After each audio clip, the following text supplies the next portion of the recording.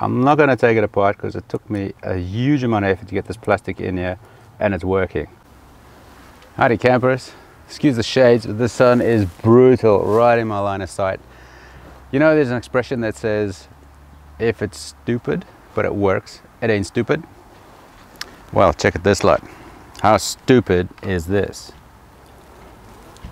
This obviously is the Landy, the full wiring loom on a Landy. Pretty complicated, huh? And why have I taken these things off? This is the bottom.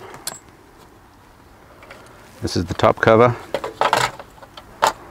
Is to get to this little switch. This is your light switch, as we all know. Normally it burns out and you need to replace it. In this case, it didn't do that, it did something different. So let's have a quick look. So how this thing is held on is by a nut, which is fairly easily removed by 19. Maybe an 18, that's probably Imperial, but I don't have Imperials to hand. And that's the problem when you're on the road. Uh, normally you can just order new parts to home, get it done in your driveway and off you go. But we don't have a driveway. There it is, man. This is the Mark 1 Defender light switch, which is pretty simple in its operation, as you would expect. Just three wires, power, marker lights, I'll call them marker lights, and your headlights. And all you do here is move the switch down. One for the marker lights, two for the headlights. No big deal there, right? Problem is this thing moves in here, if you can see that, as you flick it into the marker lights and to the headlights main beam that little plastic thing moves over some ridges in that little plastic uh, thing molding there is a little ball bearing on a spring and the ball bearing puts pressure so that when you move it to the middle the ball bearing comes down into the groove and it will sit there for your marker lights and if you move it a bit further it flicks over the ridge and into the other groove. And in that way you have three positions, off, markers and headlights. Um, what I did to fix this, because the problem here is I couldn't switch it off. I switched it to marker lights or, or your headlights and I couldn't get it off again. On a normal modern car, this isn't such a big deal. They have a switch that will turn the headlights off if you forget to leave them on after about 20 minutes and you're fine, no big deal. A Defender will do the same thing, but only when your battery's dead. So this was not an ideal situation, having the lights on and not being able to turn them off. So what I had to do here is get a little screwdriver, pop it underneath that little ball bearing, try and get it over the ridge so I could turn it into the off position, which was not ideal because you have to take this thing out of the steering column, right? You can't do this while you're driving. So what I did is I found this little set in our electric box. Cut off some of this plastic, very thin stuff.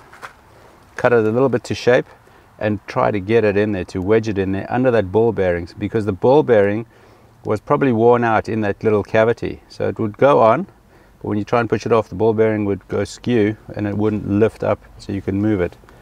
So now the ball bearing doesn't come out all the way.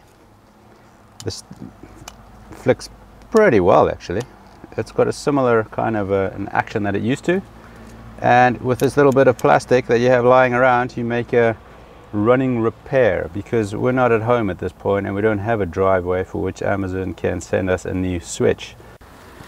So this is how I'm driving around at the moment with a bungee cord holding the broken dashboard on. Why is that? I took this off and why did I do that is because the light switch and the fog light have to come out through here.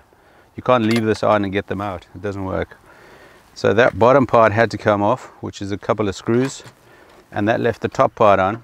And I thought I'd drive around with the bottom half just out. It doesn't really matter, it doesn't bug me. The problem is while we were in a mountain pass, this top piece got jammed up in the steering wheel and that's not very handy. So there it is guys, look at this hack. How do you guys fix your vehicle in the field while you're on the road when you're not on your driveway? I can't get the top cover back on because I need to get the steering wheel off and I don't want to do that. And I can't put the bottom cover on if the top cover is on. No, I can't put the top cover on without the bottom cover. Something to that effect. So let me know what you guys think. It works, okay? We were pulled over in Spain, Spanish uh, Guardia Civil, uh, the road police.